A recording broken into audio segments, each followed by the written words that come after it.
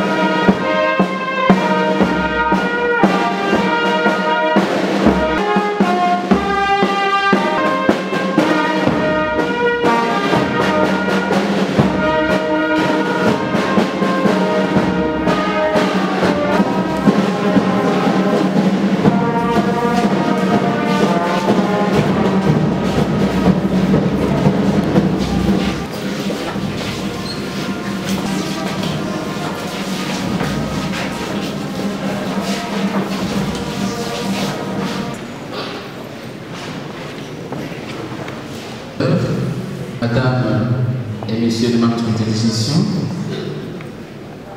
Messieurs les membres du corps académique, Messieurs les membres du corps scientifique, administratif, chers membres, une fois de plus, Légion de la mort vient nous rappeler un principe généralement connu de tous, qui a un temps pour naître, un le fait professeur Armand Beto Kabamba a tiré sa révérence. Et nous sommes là pour lui rendre un dernier hommage par une séance académique qui va se dérouler de la manière suivante. D'entrée des jeux, nous allons exécuter l'hymne national. Après l'exécution de l'hymne national, nous allons suivre le mot du département, de son département, le département des sciences commerciales administratives. Le mot du département sera suivi par la présentation biographique par la faculté. Ensuite viendra les témoignages. Après les témoignages, il y aura l'oraison. Sans plus tarder, avec l'autorisation de M. le directeur, j'invite l'assistant.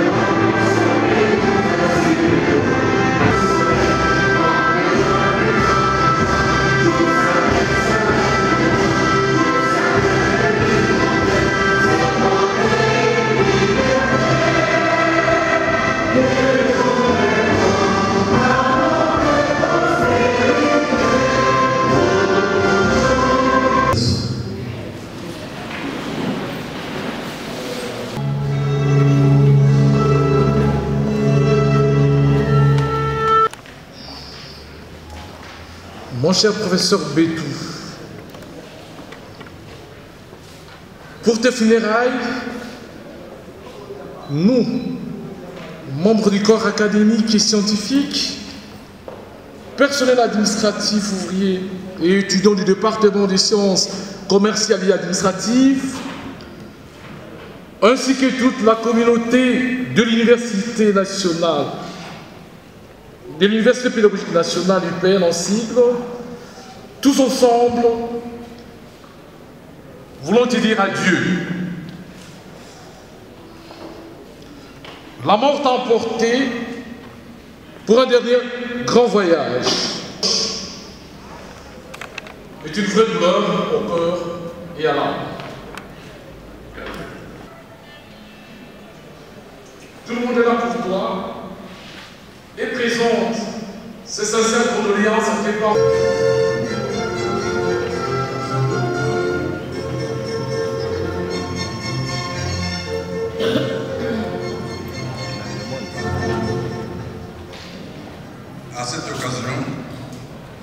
Nous avons l'honneur de présenter un aperçu biographique de M. Béni Armand de Mawéja.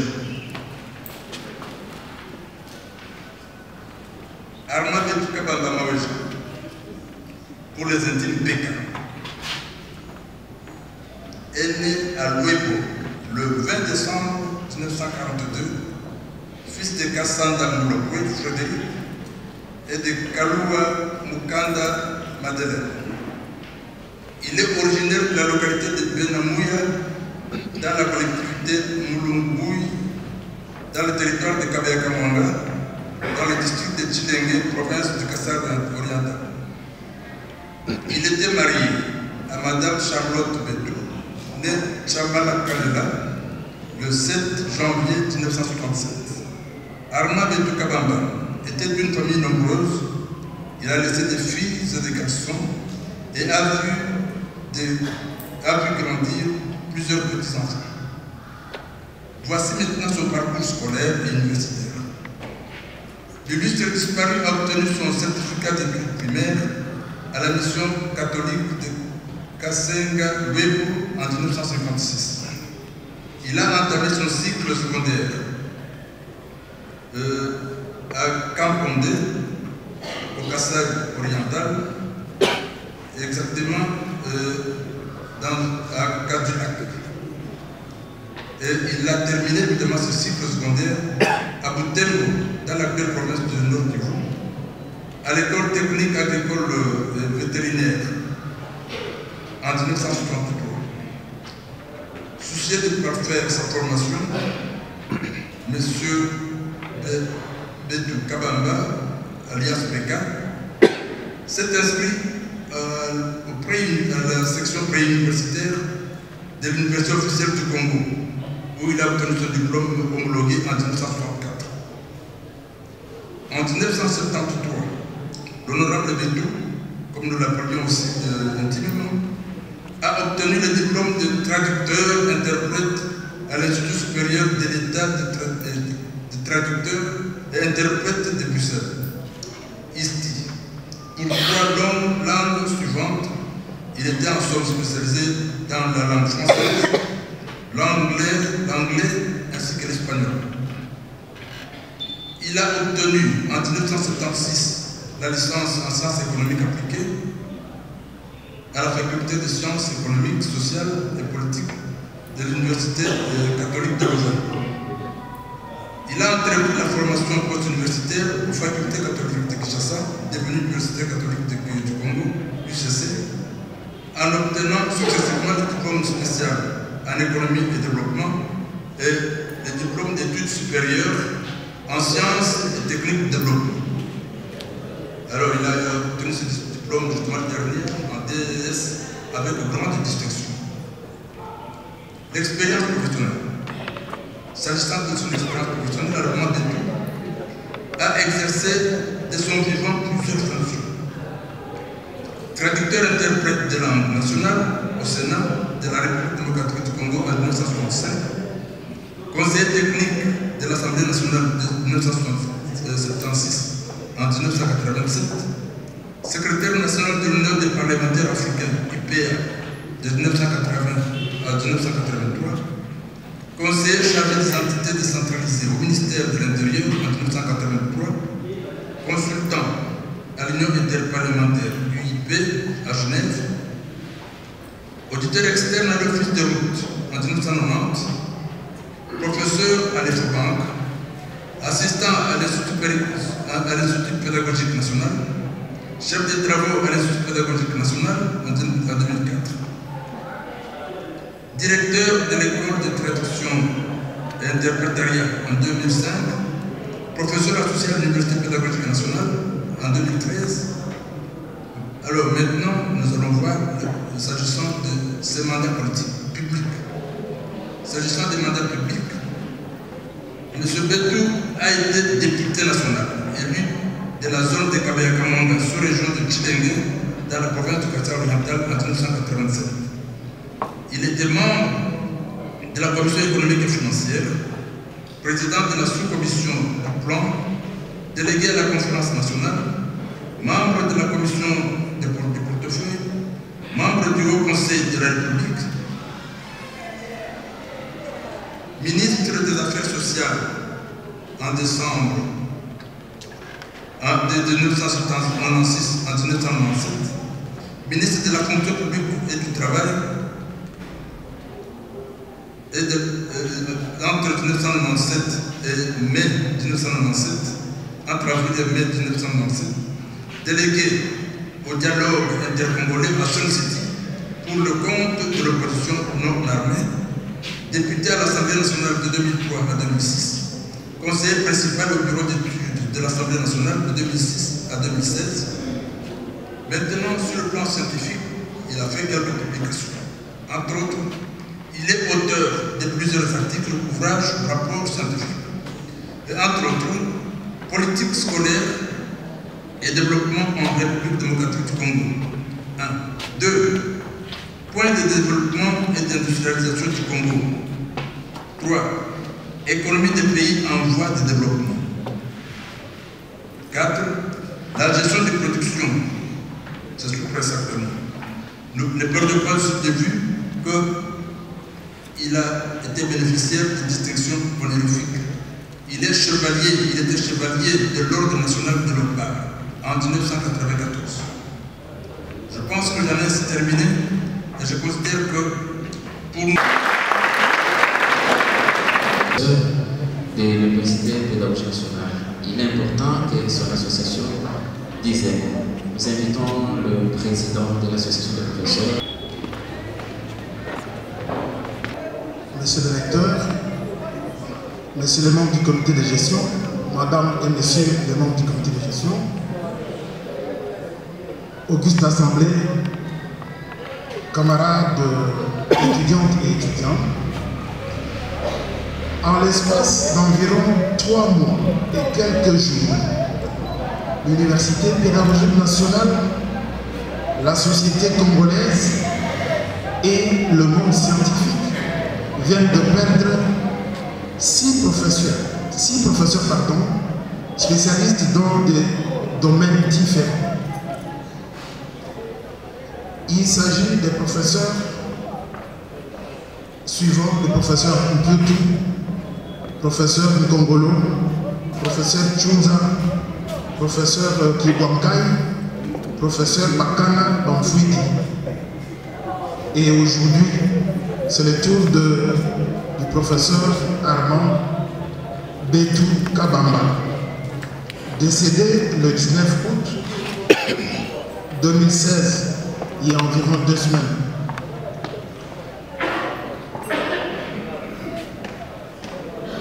Qui est-il mort? Tous égaux dans la cendre, inégaux par la naissance, égaux par la mort. Comme l'a déclaré le professeur Gaston Piotto autrefois, lors des obsèques du professeur Richard Onyangue à Brazzaville,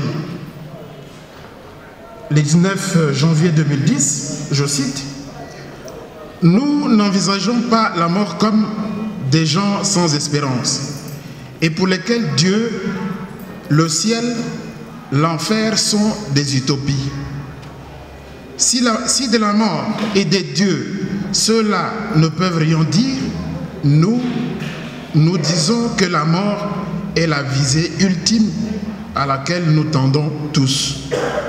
C'est notre vie, notre voie d'accès au royaume qui nous est destinée. La terre n'étant pas notre demeure éternelle. Fin de citation.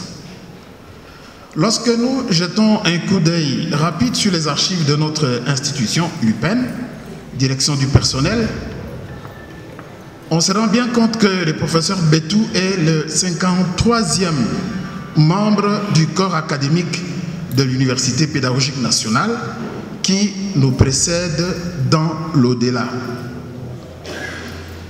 De son pèlerinage ici sur la terre des hommes, et d'après des renseignements en notre possession, nous pouvons retenir essentiellement des éléments que nous, pouvons, euh, que nous résumons en deux points. D'abord, notons que le professeur Betou, Armand Betou Kabamba, c'est un patriote au service de la jeunesse et de la nation. Je crois que son CV l'a souligné, comme souligné dans sa biographie.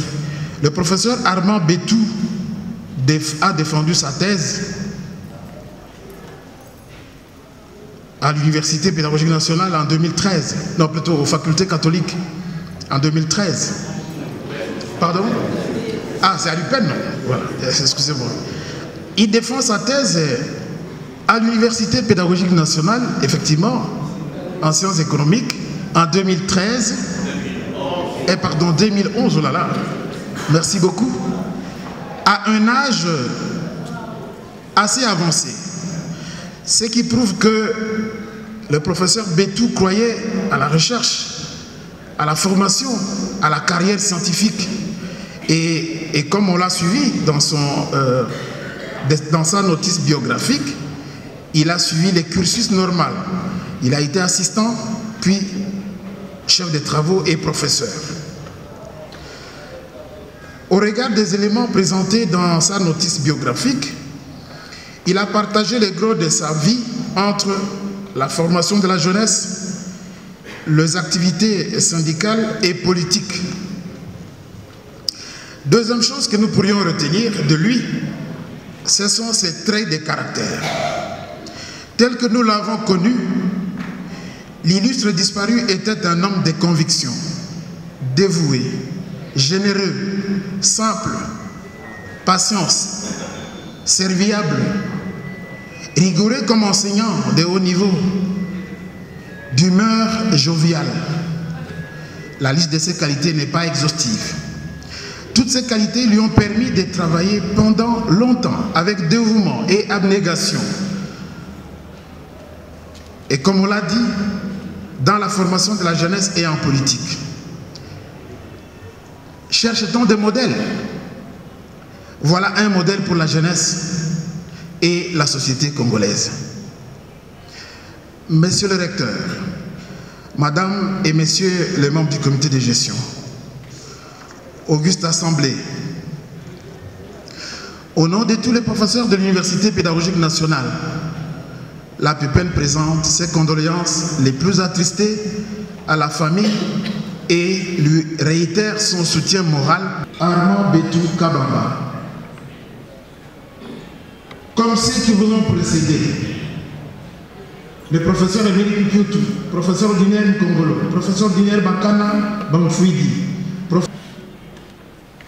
vous aussi, vous nous quittez au moment où l'Université pédagogique nationale a encore fort besoin des formateurs pour assurer davantage son autonomie dans les différents domaines du savoir.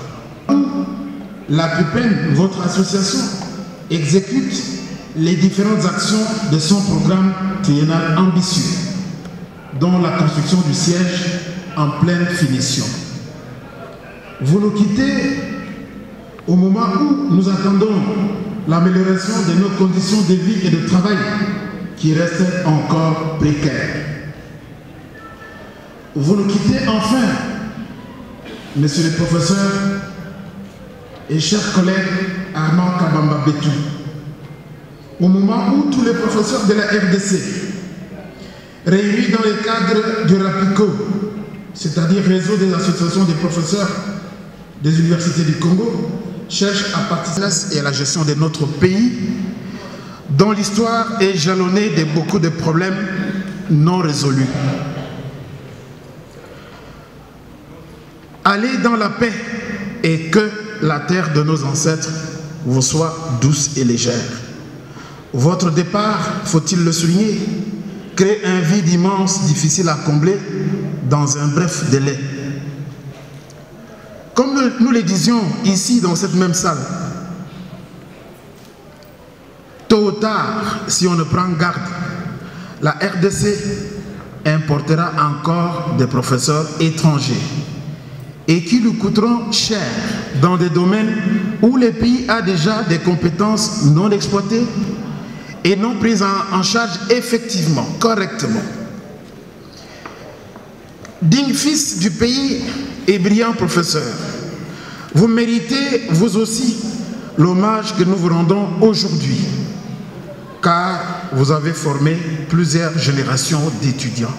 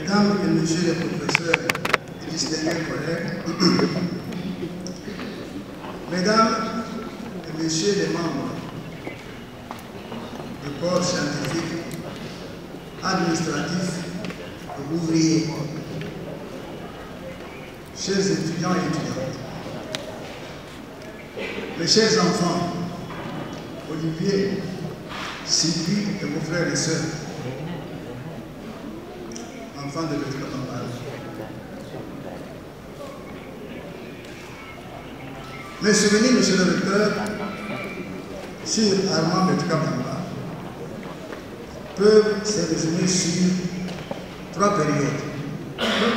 Et puisqu'on a assez dit sur sa carrière, je m'attarderai un petit peu sur les souvenirs d'enfance.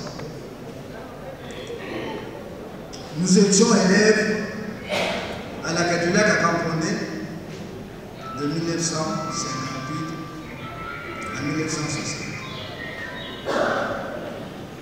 Nous étions au Parlement.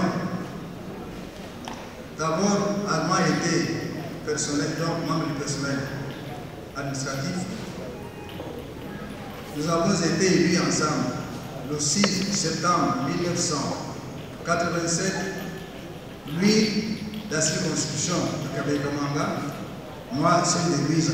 Kabékamanga, c'est la Kassai orientale, qui devait Kassai orientale. Luisa, c'est l'actuelle province du Kassai centrale.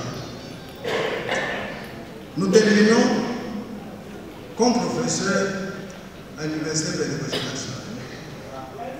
C'est dire que notre vie a rythmé, notre vie n'a cessé d'être ensemble dans tous les domaines. Élèves, parlementaires et professeurs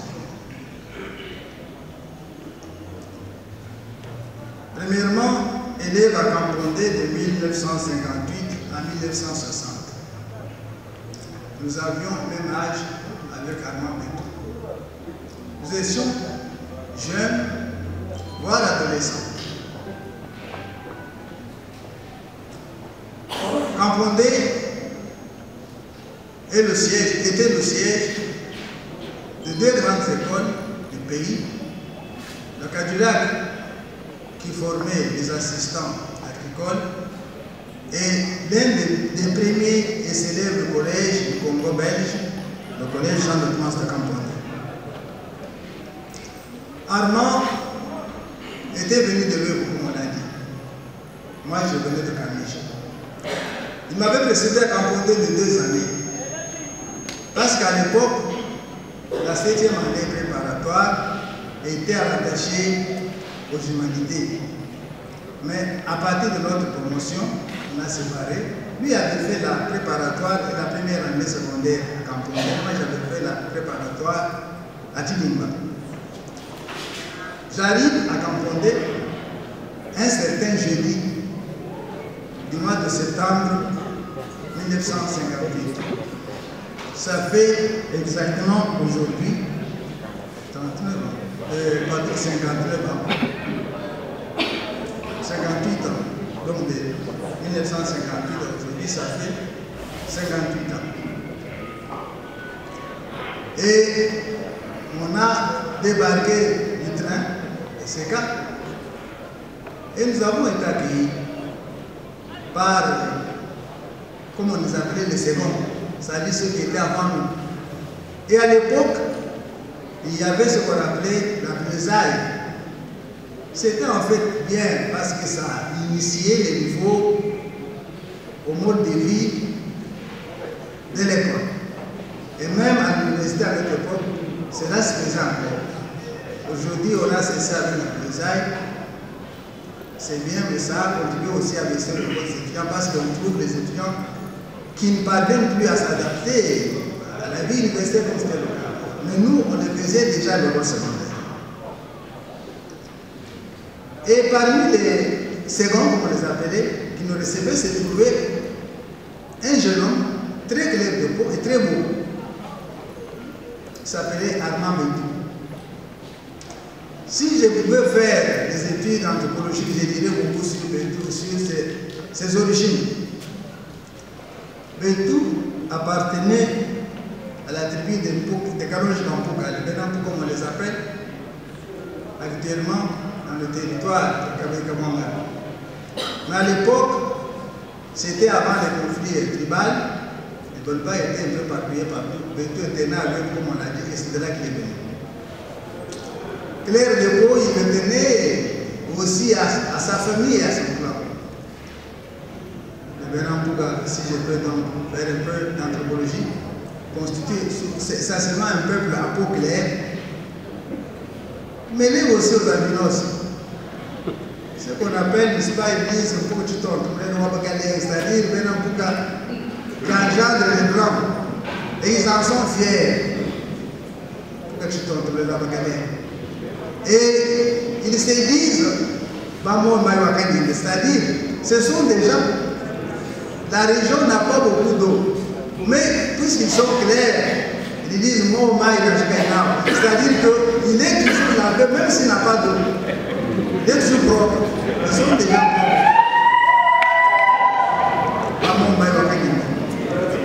C'est là, c'est donc de cette tribu, c'est de ces milieux anthropologiques que provenait Armand. Je me, je me souviens très clairement de notre première rencontre ce jeudi là, de septembre 1958. On nous appelait le groupe, c'est-à-dire le bleu, et on nous appelait par notre mission. Il m'a dit, il y avait une voix, dit, allez, Camille, je. Et donc, viens, Camille, je viens. Je vais, elle dit, à genoux. Je marche. C'était la mort, et on le faisait avec eux. Bien sûr, les bien Alors, il m'a dit, mais, conjugue-moi à haute voix le verbe suivre Dieu.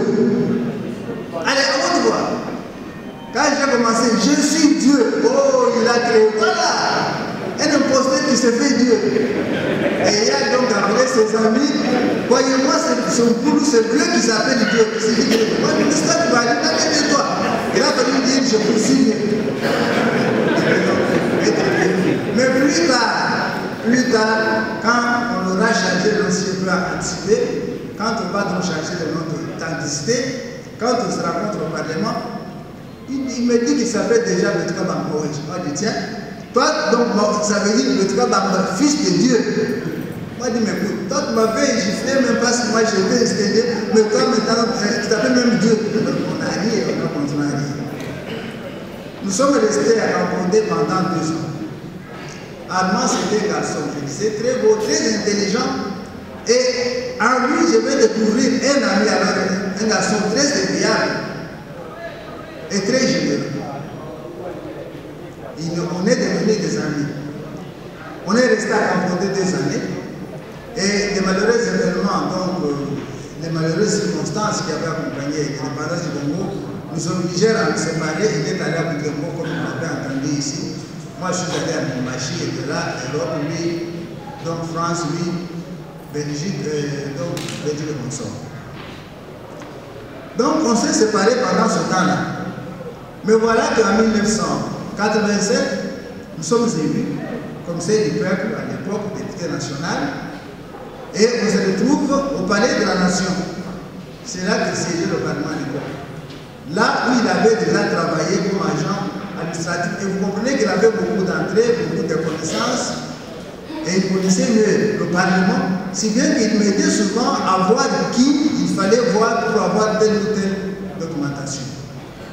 Et là, on a, est venu se joindre à nous, un ami qui nous a quittés bientôt, donc euh, bien longtemps, en 1995, c'est un homme Tita Tchibala. Alors on a formé comme ça un trio à toi. On s'est visité, on, s'est promené, on prenait vers ensemble avec Allemand. Et très agréable. Arrive en fait la première grande transition de 90 à 97, vous avez entendu ici. Armand a exercé aussi des fonctions ministérielles, ministre des Affaires sociales, ministre de, la fonction publique et du travail. Je ne veux pas entrer dans beaucoup de, de, détails, puisque tout a déjà été dit et je vais donc vous épargner de beaucoup de choses. Qu'est-ce que je retiens de tout Un ami, un frère, quelqu'un de mon âge, quelqu'un avec qui on a suivi pratiquement le même parcours. Parce qu'après le Parlement, lui s'est arrêté en 97 avec l'arrivée de la FDEL, mais il a continué à travailler dans le, dans le secteur administratif où il était, donc il avait gravé les échelons. Et moi, j'ai pu être encore réélu d'abord au Parlement de transition en 2003 et puis réélu en 2006. Et pour nous arrêter donc en 2011, c'est l'année que prennent faire mes fonctions de Parlement et c'est l'année que Petra Bamba soutient sa thèse doctorale, comme on dit ici. Moi, j'avais suivi l'année en 1974, c'était bien avant. Armand était chercheur. Armand, c'était un homme social. On blaguait. Souvent, on s'appelait Niana, Niana, comme ça, de cher ami. Voilà que il a travaillé, donc pendant qu'il faisait tous ces. Il était au Parlement, il était au gouvernement. En 2011.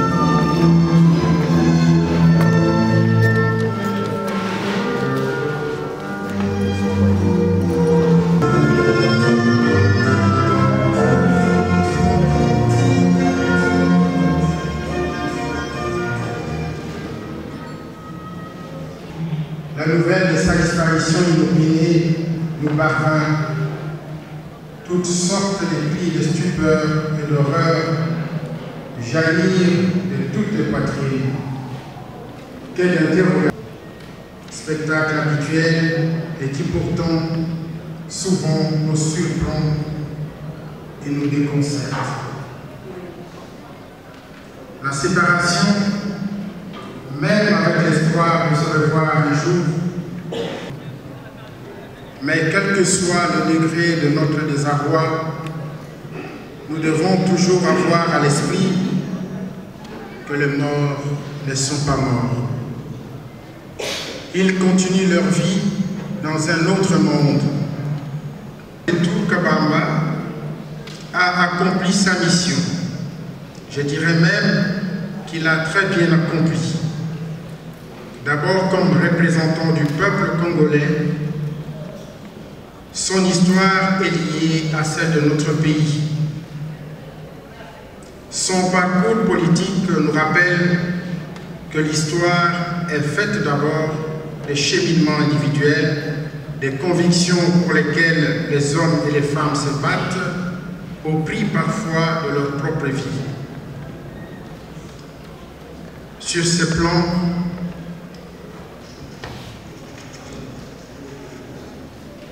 l'honorable Bétou a mené un combat sans relâche pour le bien-être du peuple, comme les différents témoignages l'ont attesté. Représentant du peuple écoute, patiente. Il entre dans la peau de ceux qui viennent à lui. Il plaide en faveur des siens et les protège. Un représentant ouvre la voie pour ceux de sa communauté. Il les entoure, les oriente et leur assure de s'entendre entre eux. Il est un leader, un aîné et un enseignant. Un leader, un aîné et un enseignant, c'est bien ce que fut et eux et est le professeur Bentou. Enseignant,